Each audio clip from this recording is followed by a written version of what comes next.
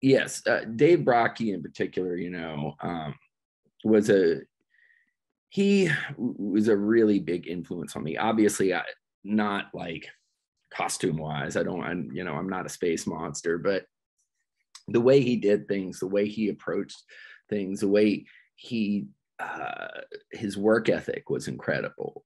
You know, um, it was very Black Flag. You know, the Black Flag work work ethic, where it's just like play anywhere to anyone. He would, you know, load out that all that shit out of their truck, then get in, do press, get in the costume, do a show, and at the end of the night, load it, help them load it all out because like GWAR is not like uh, they have a lot of overhead, so they don't, you know, they, they aren't employing a massive crew. A lot of the stuff that you know band members normally don't do those guys do. They're constantly working working working working. And he was always always working on GWAR at the slave pit which is their compound. You know i go by and see him sometimes and he was either doing press or working on a costume or building a new storyline you know or just working on music. It, it, was incredible. He was always grinding on it because it was his passion. Um, and you know, when I moved to Richmond, the first time I saw GWAR, this here's a little story. The first time I saw GWAR, um, the first time I heard of GWAR, I was like this 18 year old snot nosed kid who moved to Richmond to go to quote unquote go to college, right? To VCU. I came here really um, because they had a better scene than where I was, you know. Um, and and I've been coming to Richmond to see shows every now and then. I'm like, I'm going to Richmond because they have great punk rock shows. and uh, my parents weren't too thrilled with the college choice because, you know, it was an art school. But one night I was at 7 Eleven and then all these people walked in just covered in all this shit. Right. And I looked at them and I was like, what happened to you people? You know, like what what is going on? And they were in there getting Slurpees or whatever. And they looked at me and they said, GWAR. And I said, What is a GWAR? and they're like, you'll see, you know, you'll understand, ask around. So they're, they're this weird band thing. So a few months later, they played a, um, they played a uh, matinee.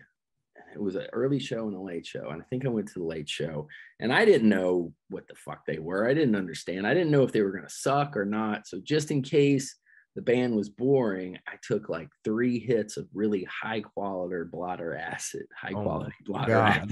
acid. and I thought it was just okay acid. It turned out to be really good, really good. So I went to the show and uh, an opening band played and it was okay. I was waiting for it to kick in. And then it started to really kick in.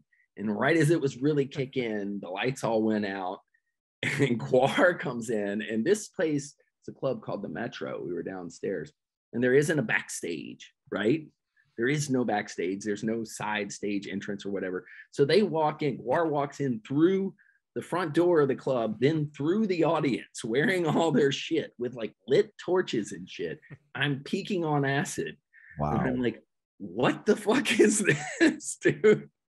And watch this show in complete amazement. You know what I mean? Like, what is going on? I think I got, I think there was this dude who didn't like me there for some reason. He was an asshole.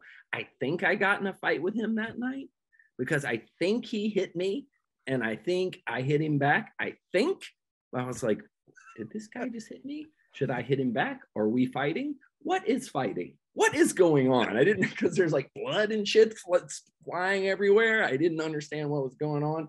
The end of the night, it was just insane, dude. I was like, this is the craziest thing I've ever seen. Even without being on LSD, a GWAR, GWAR show will blow your mind. Mm. So after that, I was just like, oh my God, these guys are from here. And they were like these mysterious sort of characters to me. Um, I knew they were actually humans, but I was like, I got to meet these guys. And gradually I found out who they were. And then the first time I ever remember Dave Brockie saying anything to me. And this is great. This is kind of like why he was sort of a mentor to me, even when he was being a dick, right? We played a show at this club called Twisters. I don't know if you ever played there on Gray Street. Doesn't sound familiar. Yeah, it was a, you know, 300 capacity, you know, little, little club, 300, 400 capacity club. And uh, we opened up for like Cathedral or Napalm Death or someone like that, right? We were first on the bill and we were still called Burn the Priest then. And we had a really bad show. Nobody gave a fuck about us, right? They were just like, ugh, what's this stupid band? And you had to push your gear out through the back. And the show was packed because it was like Napalm Death or whatever, but nobody gave a fuck about us. So I'm pushing our our gear out through the back, through the crowd, all sweaty and just bummed. And at the bar, there's sitting Dave Brockie. And he's got these two beautiful punk rock girls on either side of him.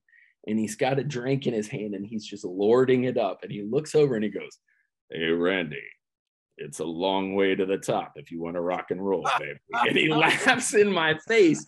And I was like, fuck you, Dave. Like, like little, little upset Randy pushed me. like, fuck him, fuck him. And then later I realized, oh, he knows who I am. That that's right. that dude actually knows who I am. You know, he the singer knows my name. Wow. You know, and uh he was busting my chops and and a, a lot of those guys used to bust our chops and have some stories, but it was it's all in love, you know, and and they taught us a lot. So um, I just love those guys, and it's uh, it's interesting you watched that movie last night so did I.